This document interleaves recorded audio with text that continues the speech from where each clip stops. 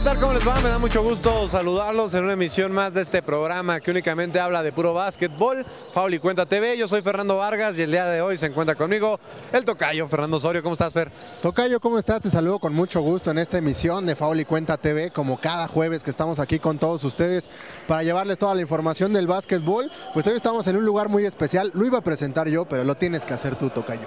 Estamos en un lugar sagrado prácticamente, llamado el frontón cerrado, donde un servidor dejó sudor, dejó lágrimas, dejó sangre, pero hoy estamos por una ocasión especial. Daniel Cui Gómez, entrenador en jefe de la selección varonil de Pumas, un buen amigo, un buen compañero, Zorrock, y este, y pues bueno, ahora pues lo vamos a estar midiendo, no lo vamos a estar criticando, digamos. Así es, vamos a estar criticando al buen Quick y también vamos a tener al Choco, Gerardo Guzmán, que era entrenador de las, de las chicas de la femenil.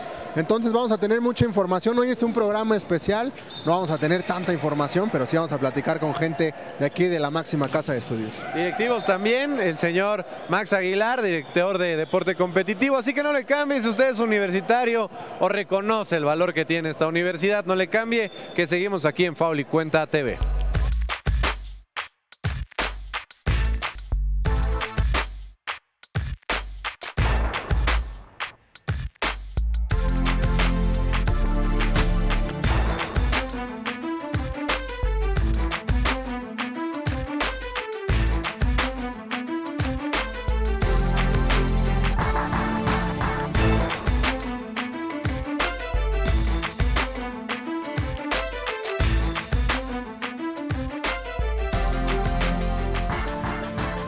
Amigos de Faul y Cuenta, ya nos encontramos aquí con Daniel El Cui Gómez, entrenador en jefe de la selección de básquetbol varonil de la máxima casa de estudios.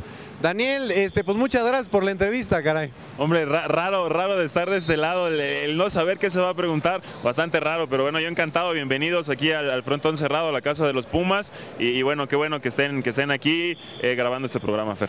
Hay muchas cosas que preguntarte de entrada. Sabemos que el currículum que te dejó la Duela TV, Faul y Cuenta, fue fundamental para tu llegada a dirigir Liga Mayor. No, fue, fue lo primero que me dijeron, ¿sabes qué? Nosotros sabemos que, que tienes experiencia saliendo en este tipo de programas, bueno, queremos que seas entrenador. Muy bien, y ya hablando de lo secundario, ¿cómo llegas a ser entrenador en jefe de, de- de los Pumas? Bueno, eh, la, verdad, yo empecé muy chavo como entrenador, me dieron la oportunidad a mis 18 años de ir a entrenar a la preparatoria, entonces pues inicié, inicié joven, inicié joven en este, en este proceso como entrenador. Y, bueno, poco a poco yo me he ido preparando, he, tratado de y sigo buscando prepararme, Eh, se me presenta un reto, el mayor reto que puede tener un entrenador aquí en la universidad. Y bueno, eh, que es el tener a cargo el equipo de Liga Mayor. Y en este formato, ahora que platiques con el Choco que está ya como, como director técnico, bueno, eh, estoy encargado de la rama varonil, digamos, ¿no? De, de cierta manera, eh, eh, como, como entrenador tienes que estar a cargo, no, no, no directamente con todos los equipos, pero bueno, sí coordinando y vigilando sobre todo el, el que se pueda, el que trabaje, el que sea, que sea ese camino, esa cadena esté unida y, y se pueda seguir trabajando. Entonces, a mí eh, eh, se me hace la invitación a- a- hace, tiene tres semanas esto, y bueno, yo con gusto doy el paso al frente, ¿no? ¿Llegas como lo soñaste? ¿Llegas con la mesa puesta, prácticamente todo hecho, únicamente a sentarte y dirigir? No, bueno, eh, la, la- la situación en la UNAM, bueno, siempre son complicadas. La UNAM vivió una situación en el regional pasado bastante complicado, en donde, bueno, hubo, hubo muchos problemas, se dieron muchas situaciones y después de todos estos problemas, bueno, la dirección eh, decide y me invita a, encabezar este proyecto y- y- y buscar eso, que sea trabajo, ¿no? Buscar que se esté trabajando y que los chavos dejen de preocuparse por otro tipo de cosas y que sea el trabajo el que esté en la duela. Sí, que ya no se preocupan por vender pies, ¿no? O por, por este, comprar diferentes cosas, o que ganes un premio y que, uy, no llegó, no llegó el premio, ¿no? Entonces, suele pasar.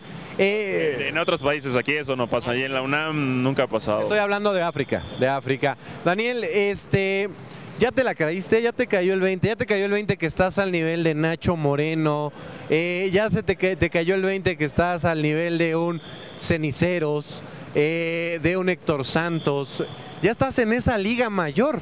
No, bueno, a mí me encantaría estar al nivel de esos entrenadores. Esos, son esos entrenadores son la elite de esta categoría. A mí, bueno, yo eh, va a ser mi primer año.